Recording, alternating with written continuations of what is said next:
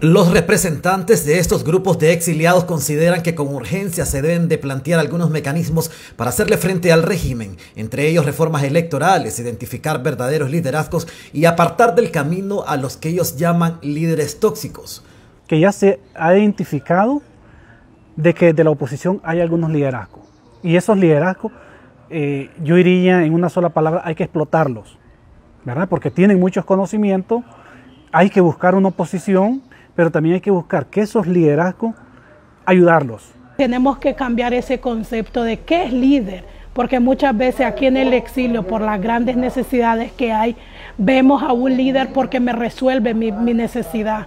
Y no es así. Es la nueva reapertura para dar, este, para dar surgimiento a nuevos líderes, jóvenes principalmente, porque creo que tenemos que, a través de los jóvenes, está la nueva reconstrucción de Nicaragua. Los exiliados dicen que la oposición tiene tareas pendientes con el pueblo porque no existe un rumbo con un solo horizonte por la falta de unidad entre grupos políticos y sociedad civil.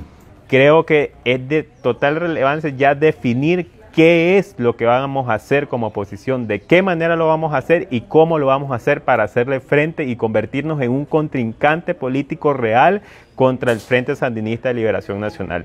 Nosotros queremos eh, que nos represente un futuro presidente, un futuro diputado, pero con propuestas eh, que ver los planteamientos que se plantea por nuestra ciudadanía y por Nicaragua. Sí hay que definir el rol de la oposición, sí hay que definir la línea que se va a trabajar y sí hay que llevar el objetivo en común que definitivamente es sacar a Ortega del poder.